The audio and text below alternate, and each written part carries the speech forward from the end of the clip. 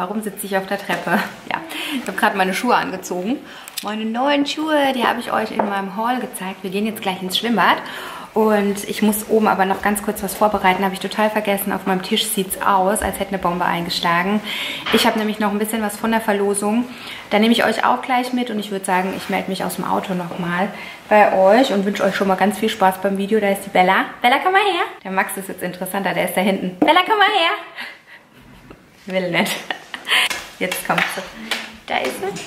Da ist sie, die kleine feine Bella. Die hat ein neues Halsband bekommen. Schaut mal, so sieht es aus. Das habe ich euch schon auf Snapchat gezeigt. Von Hunter. Ich glaube, das hat 30 Euro oder so gekostet. Also richtig teuer. Aber das bekommt sie ja nicht jeden Tag. Na Bella, neues Halsband war jetzt mal fällig. Na meine Feine, du darfst nicht mit ins Schwimmbad. So, also wie gesagt, wir gehen jetzt nochmal ganz kurz hoch an den Esstisch und dann kurz ins Schwimmbad. Und zwar hatte ich mir gestern diese Söckchen hier bei New Yorker mitgenommen. Fand ich total süß mit diesem Schleifchen. Und dann bereite ich gerade alles vor, um Pakete zur Post zu bringen. Und zwar hatte ich nämlich die Foreo Luna 2 auf Instagram verlost.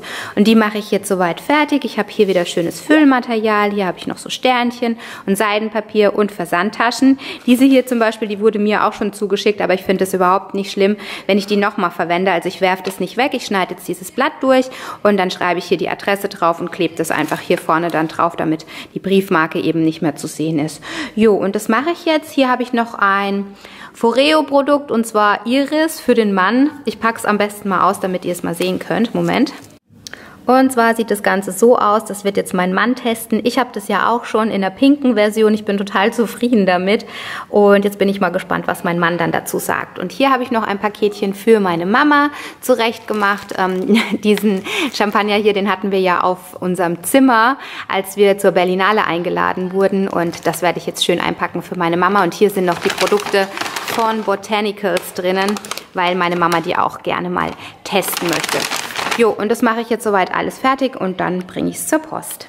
Ich habe das jetzt doch lieber hier nochmal in diesen Karton rein. Und zwar sind das die Produkte, die ich in meiner Goodie-Bag hatte. Das würde ich jetzt gerne meiner Mama eben, wie gesagt, schicken. Und diesen Karton an sich, den hatten wir bekommen, als wir die Einladung zugeschickt bekommen haben. Und zwar sah das Ganze so aus, kann ich euch ja gerne mal zeigen. Hier war eben alles drauf gestanden. Und dann war in diesem Karton noch diese wunderschöne Seife, dieses Glas hier mit dem Eiffelturm, dann ganz schönes Papier und so weiter. Und wie gesagt, das werde ich jetzt alles meiner Mama schicken. Ich habe ihr jetzt hier noch ein Parfum von Hunkemöller mit rein. Werde das alles noch ganz sicher verpacken. So kann ich das natürlich nicht lassen. Auch diesen Champagner hier kann ich so nicht lassen. Ja, weil ich natürlich Angst habe, dass das kaputt geht. Außerdem fehlen noch ein paar Sachen hier in der Box. Aber ja, jetzt muss ich erstmal hier alles schön einpacken und hole euch dann später nochmal dazu. Ich habe noch schnell zwei Karten geschrieben. Ich finde die total lustig, was da drauf steht. Mag ich sehr gerne. Und habe natürlich hinten drauf noch ein bisschen was geschrieben. Und jetzt muss ich das aber wirklich zur Post bringen. Da sind wir wieder. Wir sind jetzt ganz kurz zum Mediamarkt. Alessandro hat sich nämlich gerade seinen Wunsch erfüllt mit seinem Kommunionsgeld. Ne, Lassie? Und im Schwimmbad war es auch total schön. Wir gehen jetzt davor zu Rewe einkaufen und den Einkauf zeige ich euch später. Und vielleicht gehen wir auch noch ein bisschen in die anderen Geschäfte. Ne, Lassie? Ja, Aber du bist jetzt glücklich, oder? Mit deinem Geschenk. sehr. okay, also ich melde mich später dann nochmal. Wir fahren jetzt nach Hause. Ähm, das Licht ist jetzt nicht das Beste, wie man sehen kann. Und Lassie, bist du angeschnallt? Ja, Okay, sehr gut.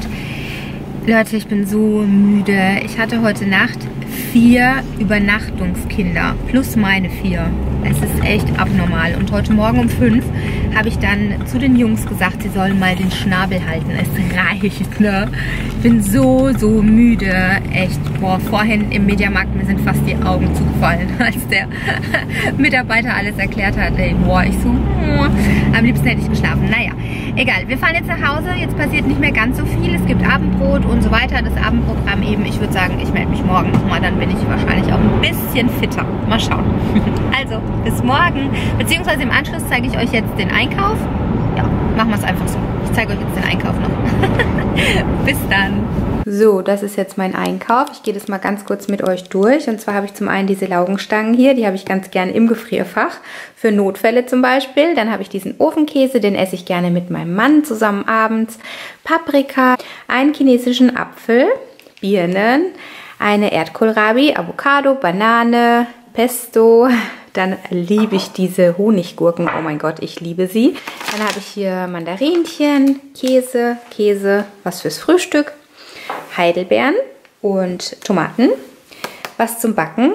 Ein Fenchel, getrocknete Tomaten und das hier, das wollte ich mal ausprobieren. Jo, ach und hier habe ich noch eine Gurke. Jo, das war jetzt unser Einkauf im Überblick. Ach, hier habe ich noch was für meinen Geschirrspüler. Wollte ich mal testen. Lecker Mittagessen. Ich habe nochmal den Stromboli gemacht, habe auch die Kamera mitlaufen lassen, damit ihr das Rezept dazu dann habt. Mm, lecker, sieht gut aus. Und für meine Kinder habe ich selbstgemachte Pizza gemacht. Hier ist noch der restliche Pizzateig und hier ist keine Salami drauf, weil Alessandro keine Salami isst. So, lasst es euch schmecken. So, ich wollte euch kurz zeigen, was mir der Postbote gebracht hat, was ich mir so bestellt habe. Und zwar zum einen bei Amazon. Diese Sonnenbrille hier. Ich habe immer wahnsinnige Probleme, Sonnenbrillen zu finden, beziehungsweise Brillen überhaupt. Ich habe ja ein sehr schmales Gesicht und deshalb habe ich mir diese Sonnenbrille hier nochmal nachbestellt. Ich habe die eigentlich schon, aber die ist so zerkratzt. Ich habe die auch schon acht Jahre oder so. Und deshalb habe ich mir einfach dieses Modell nochmal nachbestellt. Ich weiß, dass sie mir super gut gefällt, dass sie mir gut steht, wie ich finde. Und ja, jetzt freue ich mich, dass ich eben eine ganz neue habe. Dann habe ich mir noch dieses T-Shirt hier bestellt und dieses Kopfband hier, das hat hier innen drin so ein Draht und dann kann man sich hier oben so eine schöne Schleife machen. Und dann habe ich noch das hier bestellt für meine Männer und zwar Socken bei P&C. Ich versuche das mal aufzumachen mit einer Hand, was ein bisschen schwierig ist. Und zwar, ja, waren die reduziert, also die haben keine 34,95 gekostet, sondern 20 Euro. Sind drei Paar Socken drinne und dann habe ich hier noch dieses Schätzchen hier, das packe ich jetzt mal aus und zeige es euch mal. So, ich habe es geschafft, ich habe es ausgepackt. Ein riesen Teilchen. Oh mein Gott, ich freue mich so, so sehr. Und zwar wisst ihr ja, dass ich eine absolute Teetrinkerin bin. Ich liebe es einfach. Und jetzt bin ich mal total gespannt, wie dieses Schätzchen hier funktioniert. Von Mulex ist es. Und der Max, der soll mir jetzt mal helfen, das auszupacken. Und jetzt bin ich mal gespannt, was hier noch drin ist. Ich habe überhaupt keine Ahnung. Schauen wir einfach mal. Moment. Ach, da ist so ein Rost drinnen. Genau, das haben sie jetzt nämlich ganz neu bei Mulex. Moment. Da könnt ihr nämlich zum Beispiel Gemüse... Moment, ich hab's gleich. So. Gemüse garen bzw. Fleisch drauflegen und dann durch diese Kasserole habt ihr die Möglichkeit, das Ganze eben zu dämpfen. Ja, bin ich auch mal gespannt. Da könnt ihr gerne mal auf Snapchat schauen, wie ich das Ganze verwende. Ich teste mich da durch. Und über dieses Schätzchen, wie gesagt, freue ich mich total. Das werde ich jetzt auch dann gleich mal testen und machen mir einen leckeren Tee. Und wenn ihr möchtet, kann ich euch die Produkte auch mal unten in die Infobox verlinken, damit ihr nicht zu lange suchen müsst. Also falls euch die Brille zum Beispiel gefällt oder eben das Shirt oder wenn ihr noch ein schönes Haarband sucht oder eben Socken für eure Männer. Max! Das lasse ich drin. Purple Rain, oh mein Gott! Max, jetzt machen wir dieses Ding da mal an. Bring das zum Funktionieren und räum bitte die Kartons hinten weg.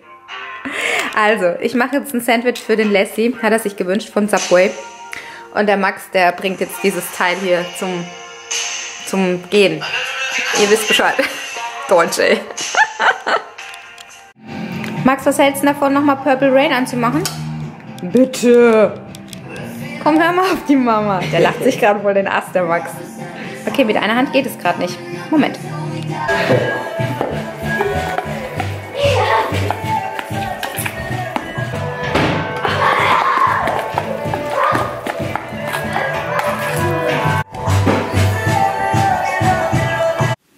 Die Brötchen hier hat mein Mann geholt beim Bäcker. Die sind jetzt nicht mehr so fresh, aber ich ähm, schneide die jetzt längs auf, damit die noch gegessen werden. Ganz klar.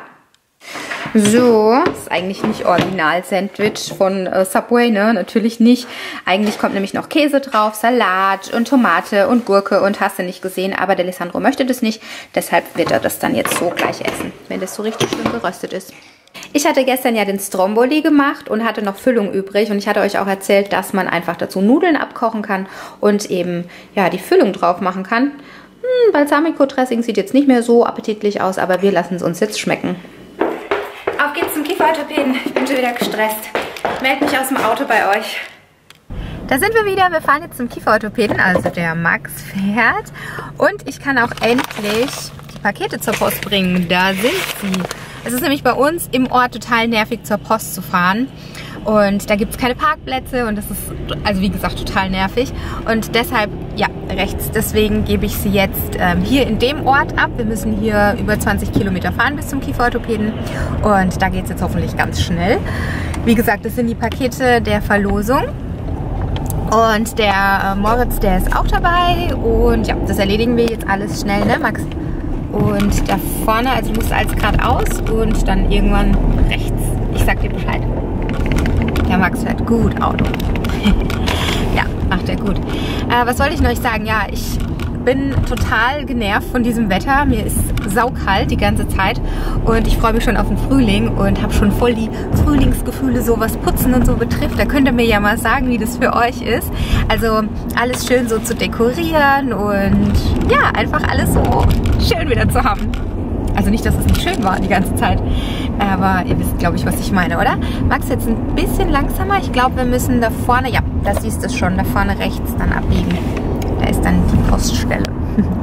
okay, also ich melde mich später nochmal. Jetzt gebe ich erstmal die Pakete ab. Ja, schau, da steht's. Post.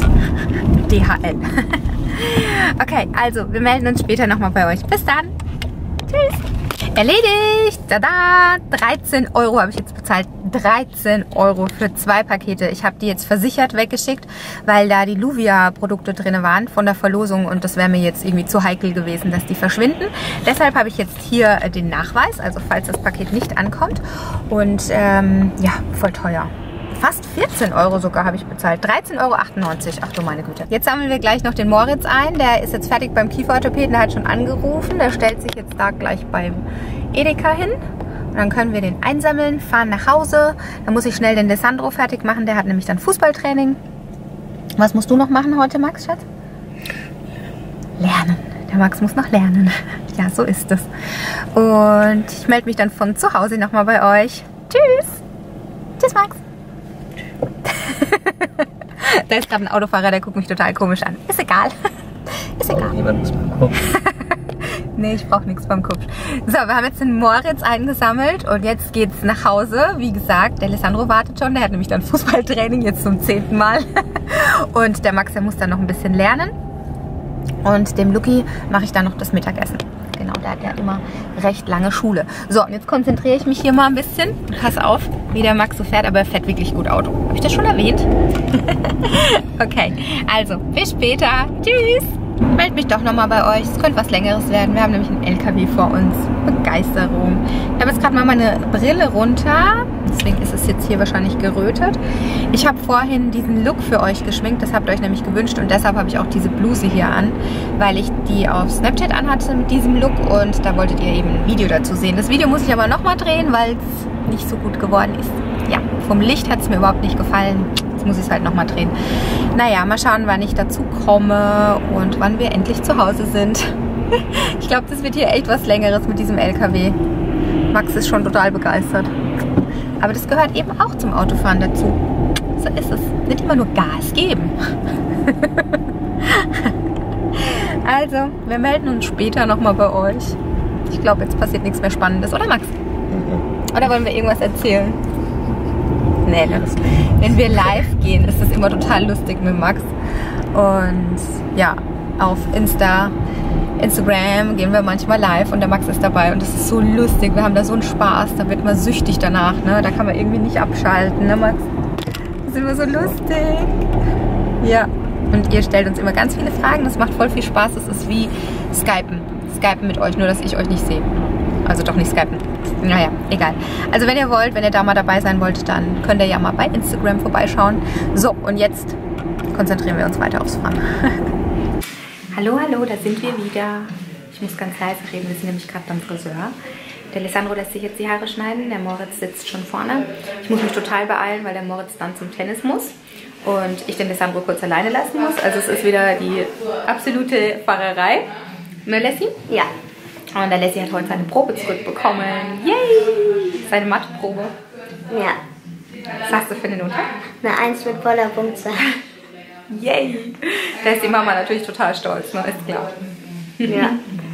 Und wir müssen dann heute Mittag noch ein bisschen üben. Also ich werde mit Alessandro noch ein bisschen üben. Der muss nämlich morgen, also die schreiben morgen einen Unfallbericht. Ja, ne, Leslie? Da üben wir noch ein bisschen. So, und bevor jetzt noch alle gucken hier, mache ich mal von hier aus Schluss. Ich zeige euch dann, wie der Alessandro aussieht. Ein Vorher-Nachher-Bild bekommt ihr. So sieht der Alessandro jetzt vorher aus. Ja. Und der weiß ganz genau, wie er es haben möchte, ne, Lassie? Ist ein bisschen schwierig wegen den Locken. Aber kriegt man jetzt hin, ne, Lassie? Ja. Und Lassie, bist du zufrieden? Ja. Das ist jetzt schon ein ganz schön großer Unterschied, finde ich. Ich finde, es sieht gut aus. Danke. Gefällt's dir? Ja. Hat die Luana gut gemacht, ne? Ja. So, da sind wir wieder, fertig beim Friseur. Moritz ist beim Tennis. Wir fahren jetzt einkaufen. Hier ist meine Liste. Der Lissandro möchte nämlich backen. Mein Luki ist auch mit am Start. Und ich wollte euch noch was richtig Cooles zeigen. Das hat mir meine Freundin geschenkt. Das ist so eine geile Erfindung. Das habe ich noch genau gebraucht. Ich drehe euch mal kurz um, damit ich es euch zeigen kann. Und zwar, schaut mal, das ist mein Handy und ich kann quasi, also ich habe hier so eine Halterung jetzt, tata, und das ist ein Magnet. Und hier hinten an meinem Handy ist ein Magnet und dann kann ich mir das hier so dran machen und das Ganze als Navi benutzen, beziehungsweise, keine Ahnung, irgendwie, ähm, ja, mein Handy halt hierhin machen. Ist das nicht genial? Ja, also ich finde es richtig geil. Ich glaube, das hat sie bei Amazon bestellt. Ich muss das halt noch gescheit befestigen, ne? am besten weiter oben. Das war ja jetzt nur ein Test. Aber ich freue mich so, dass ich das jetzt habe. und jetzt geht's wie gesagt, zum Einkaufen. Los geht's. Anschnallen und losfahren.